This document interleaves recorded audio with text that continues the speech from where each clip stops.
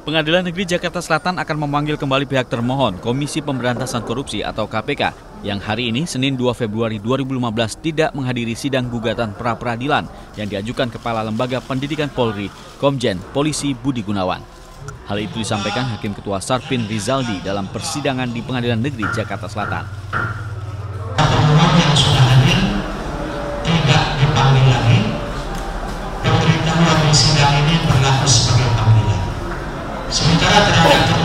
KPK yang tidak hadir pada hari ini, saya perintahkan juru sikap Pengadilan Negeri Jakarta Selatan untuk memanggil yang bersangkutan agar datang pada hari dan waktu yang sudah ditetapkan. Dengan ketidakhadiran KPK sebagai termohon, maka Pengadilan Negeri Jakarta Selatan akan menunda persidangan hingga sepekan ke depan. Sidang lanjutan dijadwalkan pada hari Senin 9 Februari 2015.